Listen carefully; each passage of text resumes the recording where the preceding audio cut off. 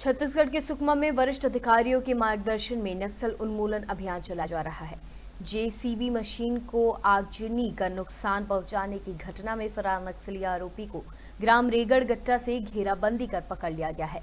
वहीं चिंता गुफा से अभियान के दौरान एक और जानकारी के मुताबिक दोनों नक्सलियों को माननीय न्यायालय के समक्ष पेश कर दिया गया है।